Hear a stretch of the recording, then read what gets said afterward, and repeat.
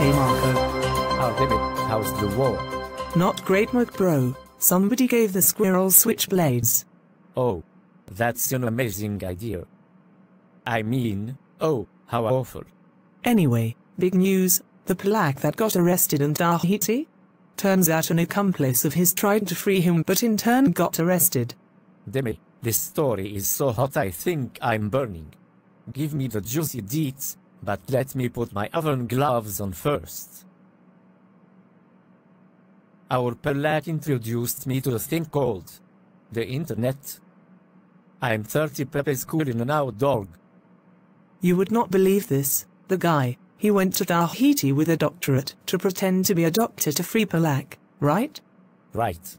But the doctorate wasn't his, and it was in food technology from the University of Backgardenshire. He got arrested for impersonation with means to fraud. Right. Marco, you know what this means. I do. Slightly hotter angel Marco. I was the only person to graduate with a doctorate in food technology from the University of Backgardenshire, and the only person to graduate before it was discovered to be a scam set up by a middle-aged man called Valerie. Somebody has stolen your doctorate, slightly less hot ordinary Marco. I wish you wouldn't call me that, it damages my self-esteem. What are you going to do Marco? If you release this story people are eventually going to work out it was you who got a first-class mark for burning croutons. It will greatly damage your reputation. Our reputation.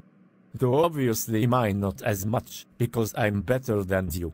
But I can't give up on this story. What about the ratings? It's a sacrifice you have to make for the greater good. Now, are you a man? Or are you a doctor of food technology? Which one of those is supposed to be better?